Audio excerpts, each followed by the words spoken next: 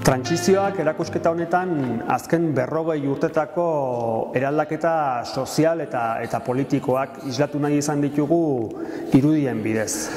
Argian badaukagu altxor bat eta hori da gure argazki artxibo zaharra detzen dioguna, ezta? Bertan sobretan ordenatuta, ba, milaka eta milaka argazki dauzkagu eta ba, horietan eh, hainbat gaien inguruko ba, irudiak aurki ditzazkegu. Eguneko fan etorri sensora bixue Ametzen eta izena Hirurogeita garren urtea. E, bueno, argiak orduan, urte horretan, utzi zuen egunkari formatua izateari eta magazin itxura izatea pasatu zen.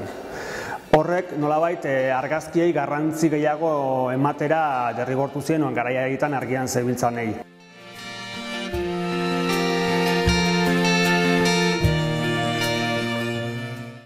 Erakusketa amairu paneletan dago antolatuta hainbat gai transbertsalen inguruan. E, horietako batean, adibidez, e, antzekotasun handiak topa ditzazkegu, esate baterako emakumeen borrokari dagokion panelean, ikus dezakegu, e, ba, irurogeita marreko amarkada amaieran, amaika basauritarrei egindako epaiketa abortatzeagatik, eta ikus dezakegu, hogeita ama bost urte geroago, ba, argazki iaia berdin bat, Hain justu, ba, Nafarroan, Iruñan, 2008an egin zen abortuaren, abortuaren legearen kontrako e, manifestaziokoa.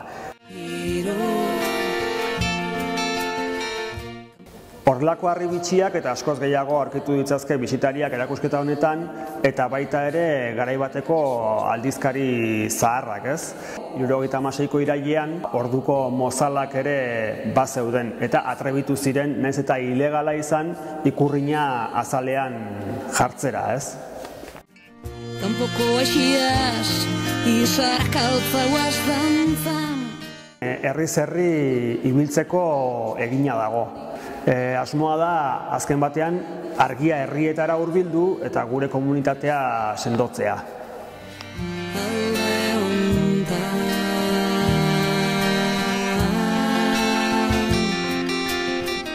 Izerateko eitortzen epeltasunien gertu Zapaiko onzei